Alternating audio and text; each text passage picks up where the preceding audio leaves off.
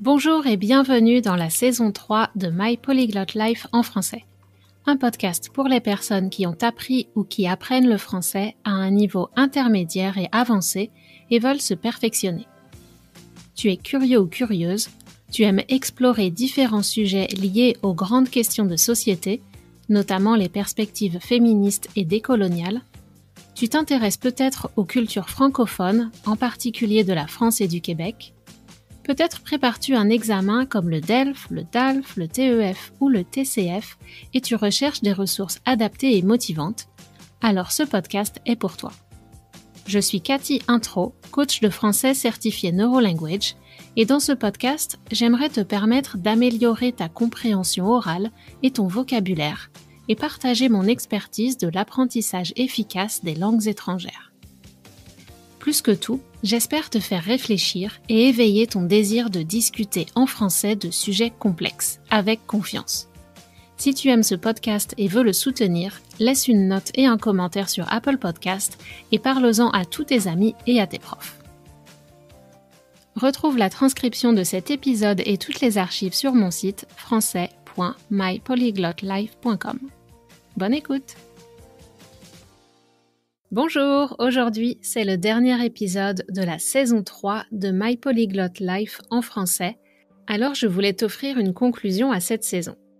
Et aujourd'hui, c'est aussi le 14 juillet, la fête nationale de la France. Donc je souhaite un bon 14 juillet à toutes les personnes qui m'écoutent de France. Au rythme d'un épisode par semaine depuis 6 mois, le podcast m'a tenu bien occupée.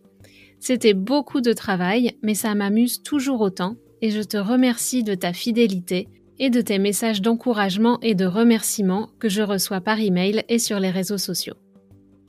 J'espère que mon podcast t'aide à améliorer ton vocabulaire et ta compréhension, parce que c'est ça le but, et aussi que tu as appris des choses pour t'aider à apprendre comment apprendre de façon plus efficace.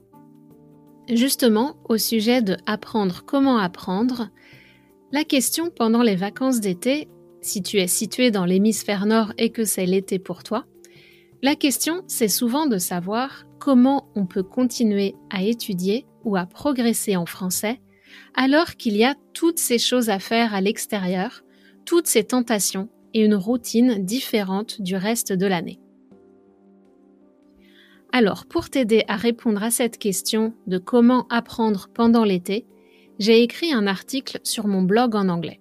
Si tu n'es pas à l'aise avec l'anglais, je vais te résumer les points clés en français maintenant.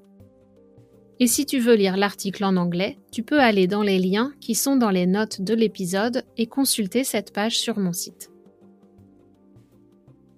La première partie de cet article se pose la question de est-ce que c'est pertinent de continuer à étudier pendant l'été? On sait que notre cerveau adore les routines et on a en général une routine qui est différente pendant l'année quand on travaille, quand tout notre esprit n'est pas tourné vers l'organisation de nos vacances et si on est au Canada et que l'été est très court, tout notre euh, esprit et notre énergie est tourné sur l'organisation des prochains barbecues ou des escapades au lac ou dans la forêt. Si tu remarques que ton esprit n'est pas très enthousiaste à l'idée d'étudier d'une façon formelle, ne t'inquiète pas. Les études montrent qu'on absorbe énormément de choses quand on fait des activités pour le plaisir. Par exemple, la lecture pour le plaisir, c'est, d'après les travaux de Stephen Krashen, c'est le facteur numéro 1 qui permet de prédire le niveau de quelqu'un dans une langue. Donc plus tu fais de lecture pour le plaisir, plus tu augmentes ton exposition à la langue telle qu'elle est parlée d'une façon authentique ou écrite avec des formulations authentiques utilisées par les natifs. Et plus tu as cette exposition, plus ton intuition pour choisir les bonnes options quand tu parles ou quand tu écris va être développée. Ça suppose aussi un certain lâcher-prise ou de savoir qu'il ne faut pas euh, overthink.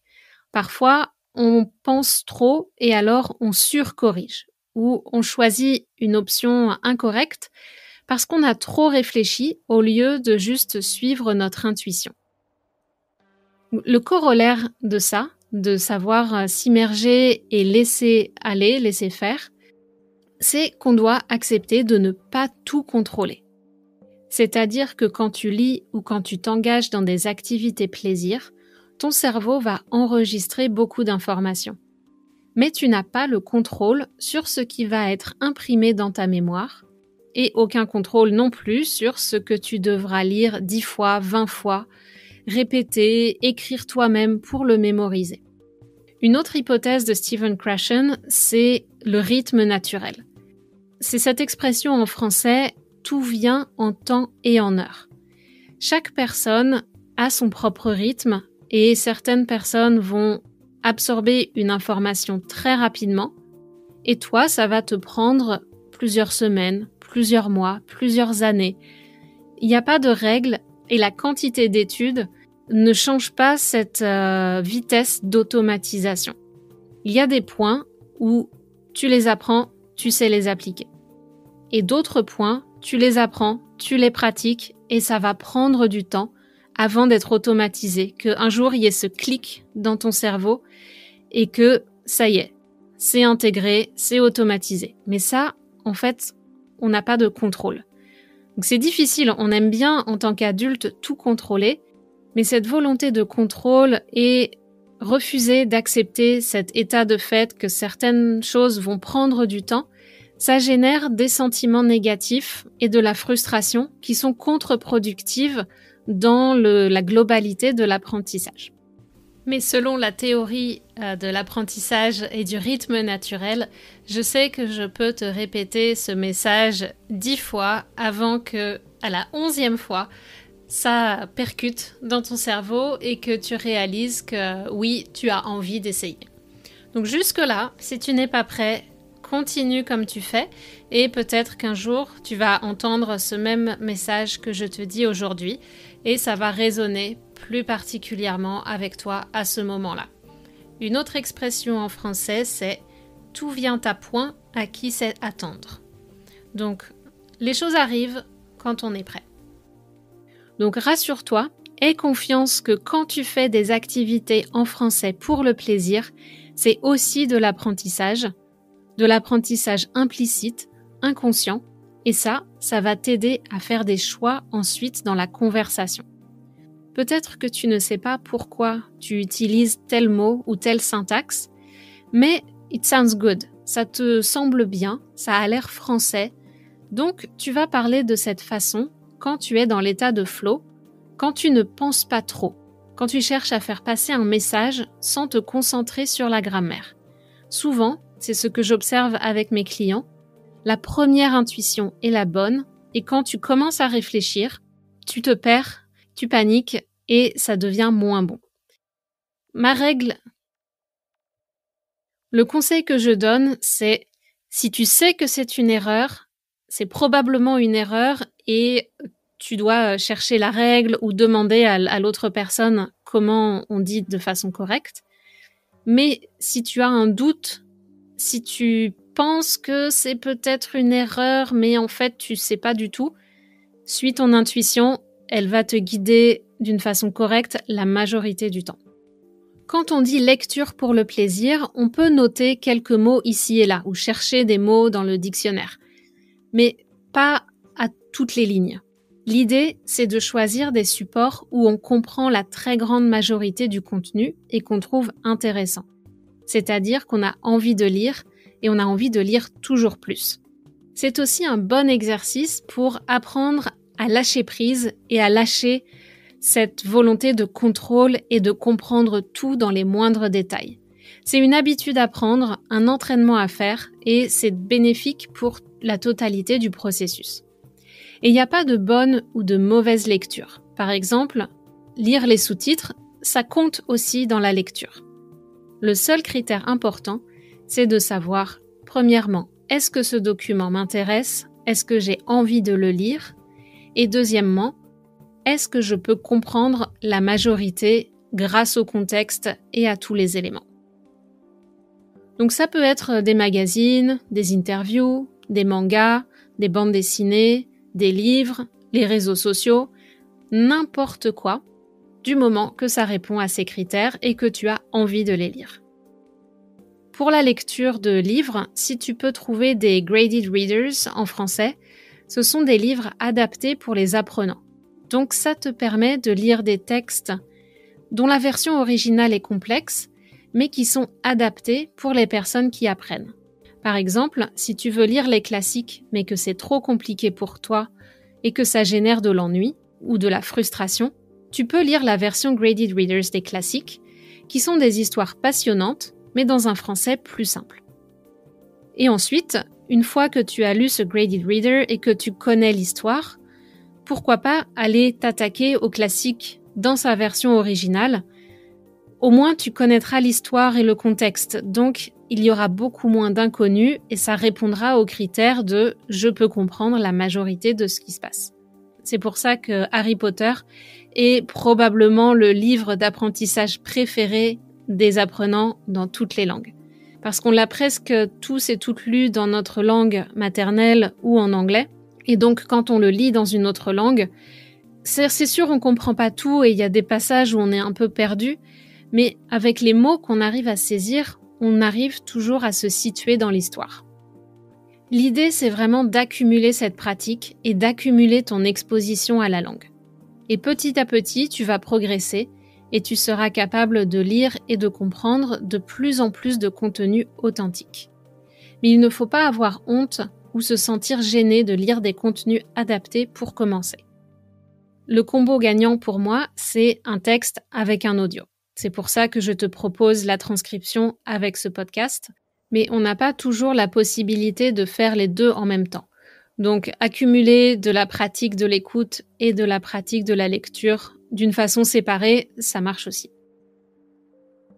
Pendant l'été, on peut aussi avoir envie de consommer plus de chansons et de musique parce que on est dehors, on peut vouloir chanter ou danser ou juste prendre du bon temps sur son balcon, siroter son café en écoutant de la musique en français et pourquoi pas lire les paroles en même temps et juste écouter pour le plaisir et chanter quand, euh, quand on a envie.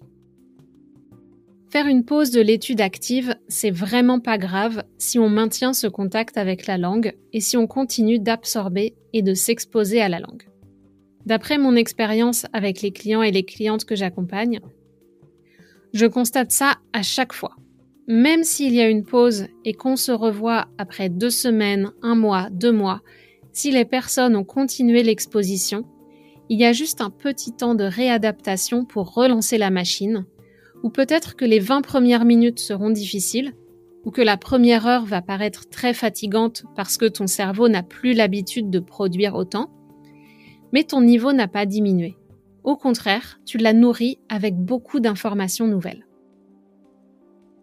Pendant l'été, c'est aussi un moment où on peut avoir envie de tester de nouvelles expériences, comme prendre des cours. Si tu es dans un environnement francophone, peut-être que tu pourrais prendre des cours de dessin, de danse, de céramique, de n'importe quoi en français. Ou faire du bénévolat dans des activités ou des événements qui sont organisés par des francophones. Ça te permettra une pratique plus active et tu feras une activité et tu communiqueras en français aussi. Si tu aimes le vocabulaire et les jeux avec des mots, pourquoi pas acheter un cahier de mots mêlés? Ça, c'est des grilles avec des lettres où tu dois chercher à reconnaître les mots en français. Les mots croisés, c'est un peu compliqué parce que c'est difficile aussi pour les francophones. Il y a des, jeux de mots et des subtilités. Mais les mots mêlés, c'est une activité que tu peux faire à la plage, par exemple. Tu emmènes ton cahier de mots mêlés et tu essaies de retrouver des mots qui ont l'air français. Ça va entraîner ton œil à la lecture et affiner ton jugement des mots qui sont français ou qui des orthographes françaises, ce genre de choses. Si tu pars en vacances, pourquoi pas faire des recherches sur ta destination en français, regarder des vidéos sur YouTube, lire des blogs, regarder des photos de personnes francophones qui ont voyagé là-bas. Ça peut te permettre de découvrir de nouveaux endroits ou de nouvelles perspectives sur les endroits où tu vas aller. Et puis si tu vas en vacances ou si tu reviens de vacances à cette destination, normalement c'est un sujet que tu vas trouver intéressant et relaxant. Pourquoi pas aussi réserver des séances de conversation avec un ou une tutrice qui vient de la région où tu vas et discuter des recommandations, des choses à faire dans la région avec cette personne locale. Si au contraire tu te sens d'attaque et tu as du temps pour pratiquer plus que d'habitude, je t'encourage à augmenter ton immersion dans le français. Donc là, tu peux vraiment aller te challenger, passer ton ordinateur et ton téléphone en français parce que tu n'es pas obligé de l'utiliser pour le travail. Donc si ça te prend plus de temps pour faire les choses, c'est pas très grave. Et puis écouter au maximum la radio en français, la télé en français, peut-être tenir un journal ou écrire des cartes postales en français. Vraiment créer ton immersion dans le français chez toi ou dans ton lieu de vacances. Pense à ça comme une, double vacance. Tu es transporté à l'étranger grâce à tout ce qui t'entoure, mais même si tu n'es pas en France ou dans une région francophone. Et si tu ne sais pas trop quoi faire ou si tu n'as pas le temps de chercher des ressources, je te propose de t'abonner à la newsletter spéciale que je crée pour le mois d'août. C'est une newsletter payante réservée aux membres qui souscrivent à cette option. Chaque jour, tu recevras un biscuit, un cookie pour pratiquer le français, un email pour pratiquer le français. Ça pourra être un audio que j'ai enregistré, par exemple des visualisations guidées, des méditations ou des histoires pour te relaxer et aussi pour aborder certains points de grammaire dans une histoire. Donc ce ne sont pas des leçons de grammaire, ce sont des histoires qui utilisent certaines conjugaisons par exemple pour te permettre de les entendre en contexte d'une façon très relaxe. Et tu pourras aussi lire la transcription si tu as besoin de ce support visuel. Je vais aussi t'envoyer des consignes d'écriture ou de production. Si tu veux tenir un journal écrit ou audio, mais que tu ne sais pas sur quoi écrire, tu auras des idées pour commencer et tu pourras partager tes contenus avec les autres abonnés dans un espace sur Google.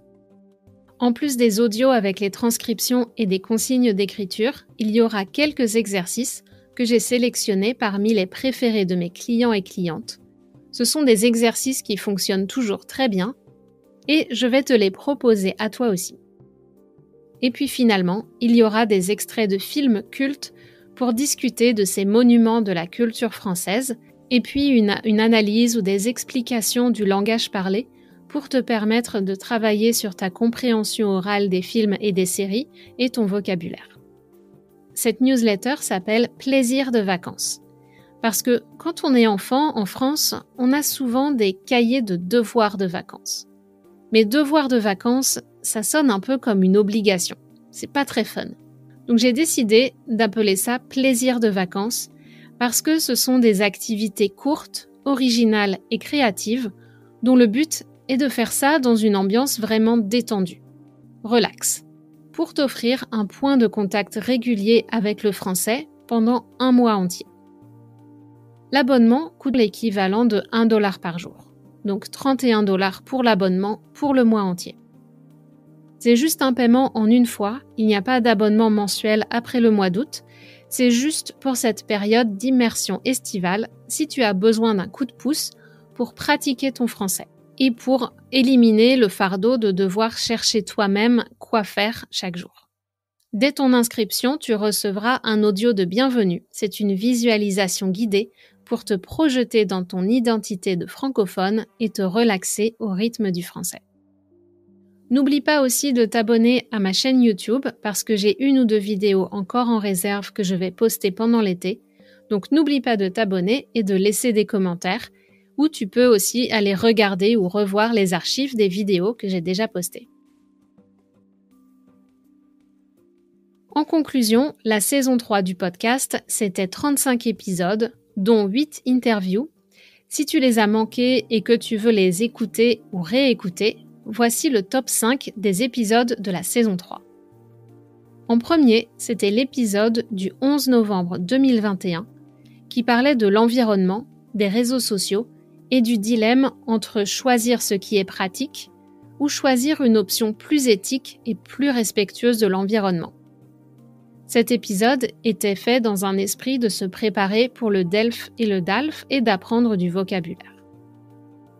Le deuxième épisode le plus populaire, c'était celui du 25 novembre. sais-tu comment tu apprends le mieux pour connaître ton profil d'apprenant? Pour connaître ton profil d'apprenant ou apprenante, pour adapter tes stratégies. Ensuite, il y avait l'épisode du 16 décembre sur l'Alsace et les marchés de Noël alsaciens. Puis deux interviews que tu ne veux pas manquer, celle Delphine Waters le 9 décembre à propos de l'apprentissage lent et donc de prendre son temps et prendre du plaisir quand on apprend une langue. Et puis l'interview du 23 septembre avec Shadé qui nous donne trois facteurs clés de succès dans l'apprentissage des langues. Elle parle elle-même quatre ou cinq langues, donc elle, sait de quoi elle parle. J'espère que j'aurai le plaisir de t'accompagner pour ton mois d'août en français. Le lien pour t'inscrire à la newsletter privée est dans les notes de l'épisode.